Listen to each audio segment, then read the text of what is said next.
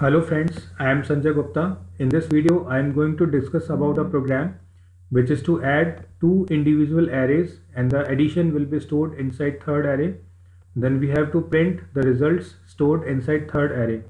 You can see the objective of the program is written in first statement which is a comment. In second statement, I have included a header file which is stdio.h for printf and scanf. Then main function contains several instructions in which first is variable declaration. Here three arrays have been declared. First is A, B and C. Uh, size of these arrays are same which is 10. Then printf statement will print a message on console enter 10 numbers for first array. So uh, this for loop is used to read 10 numbers from the console. With the help of this scanf statement all those numbers will be stored uh, inside uh, different different indexes of the array. So here I have used uh, array A uh, to store 10 numbers. Then this second printf will print enter 10 numbers message uh, for second array. Then this for loop will be reading 10 different numbers for B array and with the help of this scanf statement all 10 numbers will be stored inside different indexes of B array. Now this third loop is used to add uh, values of a and b and those number will be stored inside c. So this loop is starting from 0 condition is i less than 10 it means this loop will repeat 10 times. So first uh, it will add values of a and b. So statement is c of i equals to a of i plus b of i. So initially i is 0 so this statement will become c0 equals to a0 plus b0 it means values which are stored inside zero indexes of A and B will be added and the result will be stored inside a C0 index. After this addition, this printf statement will print the value of C0 on console.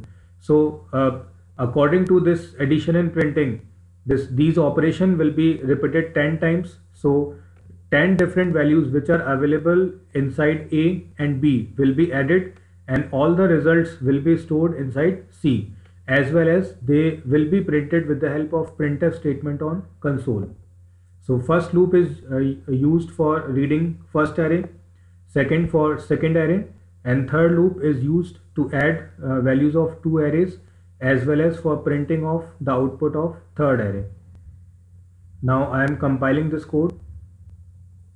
It is showing number of errors and warnings which are 0 now I am executing this code. Uh, it is asking 10 numbers for first array. So I am entering 1 10 times. Now it is asking for 10 numbers for second array. Here I am entering 4 10 times.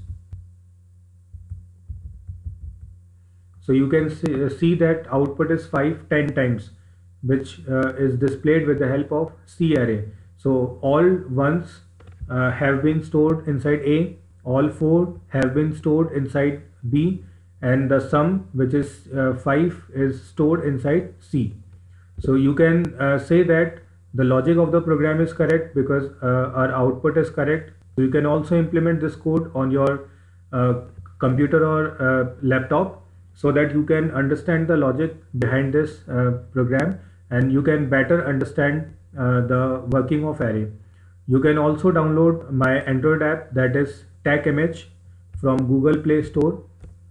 It contains various tutorials regarding C, C++, Java, PHP, ethical hacking and it is very useful app for uh, engineering students. So uh, must download uh, this app so that you can uh, learn uh, anywhere the concepts of programming languages. Its name is TechImage and it is available on Google Play Store. Thank you so much for watching this video.